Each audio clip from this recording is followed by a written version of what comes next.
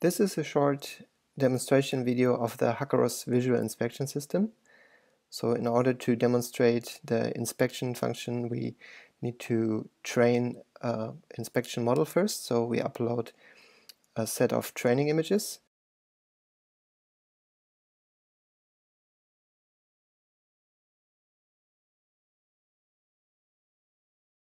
So in this example, we have created images of small 3 by 3 centimeter aluminium plates. And uh, the purpose here is to detect scratches on the surface. So the training images here are all uh, images without defects. Uh, some have a couple of fingerprints on it, but there are no scratches on the surface. So we choose one of the available uh, sparse modeling based algorithms and uh, initiate the, the training.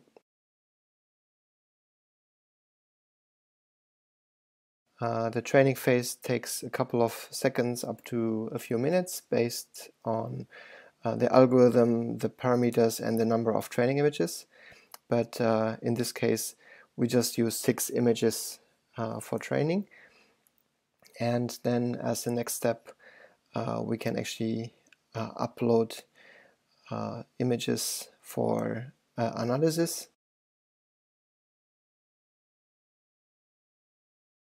So uh, we have 17 images here and um, some of them are okay with, with just a few fingerprints without scratches but some have uh, different kinds, uh, different sizes of scratches. So this one is just a few millimeters in size.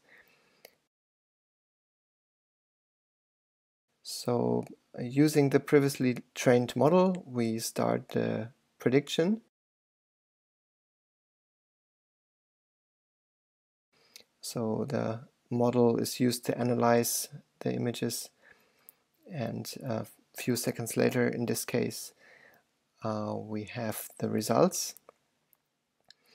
and we can look at the results and see uh, yeah, in case of the OK images there's no annotations but for the detected scratches the model has actually marked the areas on the surface that it uh, recognizes as being uh, different to the previously trained model. That's it. Thank you for watching.